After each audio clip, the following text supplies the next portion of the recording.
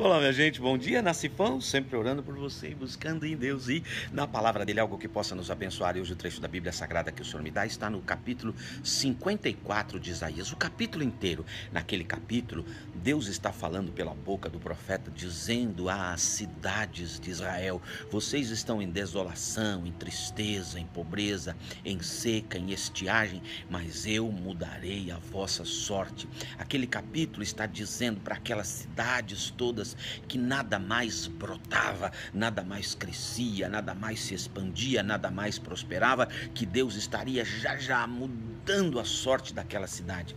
Deixe-me mostrar para você, especialmente o versículo 3. Porque transbordarás para a direita e para a esquerda, a tua posteridade possuirá as nações e fará que se povoem as cidades assoladas. Nesse trecho da Bíblia, eu aprendo que Deus está prometendo para mim e para você uma mudança no jogo de nossa vida. Como vai você? As coisas não estão indo bem? Você se esforça, planeja, se concentra e no final do dia nada deu certo. Você tem tentado, enviado currículos, feito coisas, se esforçado e parece que as coisas não funcionam. Parece que as sementes jogadas na terra jamais brotam, jamais crescem, jamais expandem, jamais se multiplicam, jamais prosperam. Assim está você nestes dias, então deixe-me te dar uma boa notícia.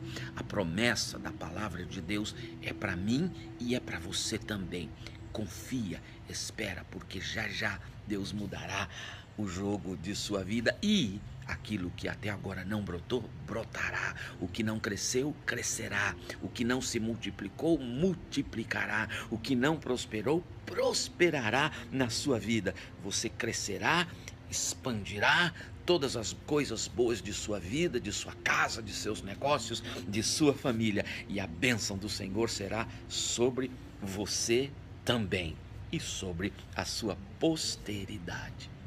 Não se esquece, você é muito amado, muito amada. Amém? Amém e amém.